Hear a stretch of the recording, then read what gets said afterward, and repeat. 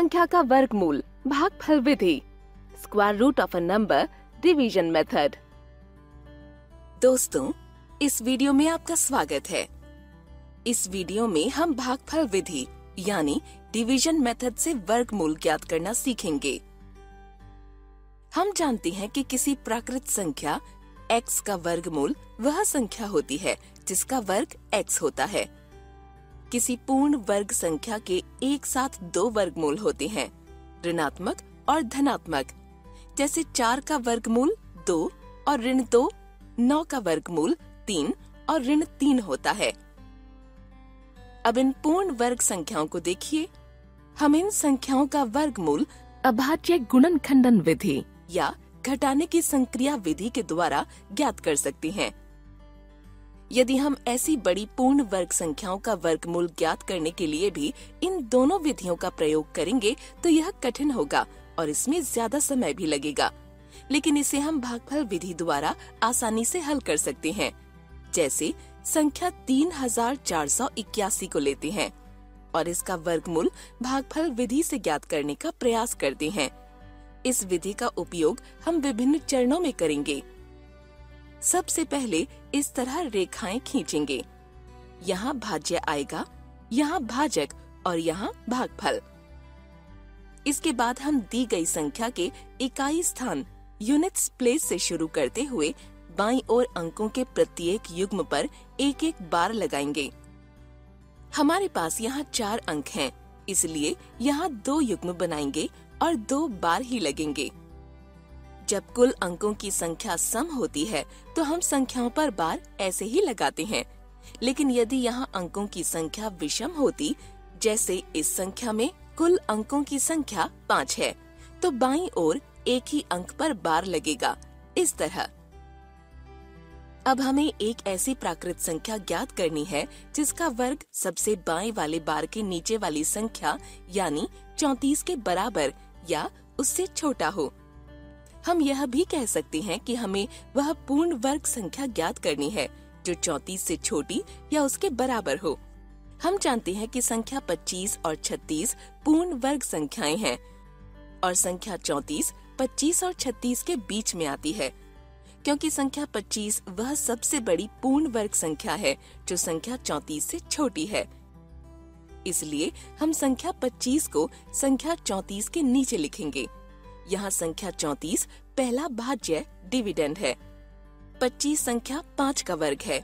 इसलिए हम पाँच को भाजक डिवाइजर मानेंगे। यहाँ भागफल कोशंट का पहला अंक भी पाँच ही होगा, क्योंकि पाँच गुना पाँच बराबर पच्चीस होता है। शेष फल ज्ञात करने के लिए दोनों संख्याओं को घटा देंगे। यहाँ शेष फल नौ प्राप्त होगा। अब अगले युग्म की संख्या को प्राप्त शेष फल के बाद लिखिए। इससे हमें एक नई भाज्य संख्या मिलेगी, नौ सौ इक्यासी। अब नए भाजक के इकाई के स्थान के लिए एक रिक्त स्थान छोड़िए और पुराने भाजक के इकाई स्थान के अंक को दो से गुना कीजिए। इसके बाद प्राप्त गुणनफल को रिक्त स्थान के आगे इस प्रकार लिखिए। इस रिक्त स्थान को भरने के लिए हम वह सबसे बड़ा अंक ढूंढेंगे जो भागफल का नया अंक होगा। और नए भाजक को भागफल के इस नए अंक से गुणा करने पर गुणनफल भाज्य से कम या बराबर प्राप्त हो। अब विभिन्न संख्याओं को रखकर इस संख्या को ढूंढिए। हमें मिला 109 गुना नौ बराबर नौ सौ इक्यासी, जो नए भाज्य संख्या के बराबर है। अब प्राप्त संख्या 9 को भाजक के रिक्त स्थान पर लिखिए, क्योंकि 109 गुना नौ बराबर नौ सौ इक्यासी होता है। इसलिए भागफल का नया अंक नौ होगा। अब इसे नई भाज्य संख्या के नीचे लिखिए और दोनों संख्याओं का घटाव कर दीजिए। यहाँ हमें शेष फल शून्य प्राप्त हो रहा है, क्योंकि यहाँ शेष फल शून्य है और दी गई संख्या में कोई अंक शेष नहीं बचा है, इसलिए यह संख्या एक पूर्ण वर्ग संख्या है और यहाँ जो संख्या भागफल के स्थान पर है, वह इस संख्या का वर्गमूल है। इस प्रकार हमें संख्या तीन हज़ार चार सौ इक्यासी का वर्गमूल मिला, उनसठ, जिसे हम इस प्रकार लिखेंगे।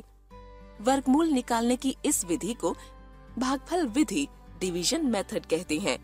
इसे दीर्घ विभाजन विधि लॉन्ग डिवीज़न मेथड भी कहा जाता है। इस विधि से हमें किसी संख्या का धनात्मक वर्गमूल ज्ञात होता है। इस संख्या का धनात्मक वर्गमूल उनसठ है। क्या आप इस संख्या का एक और वर्गमूल बता सकते हैं? यह होगा ऋण उनसठ, क्योंकि ऋण उनसठ का वर्ग भी तीन हज़ार चार सौ इक्यासी होता है।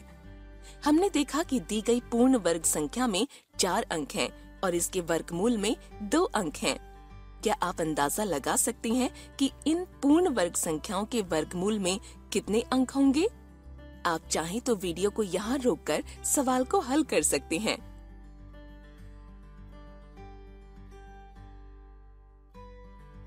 अगर हमारे पास n अंकों का एक पूर्ण वर्ग है और n एक सम संख्या है तो इसके वर्गमूल में n बटा दो अंक होंगे।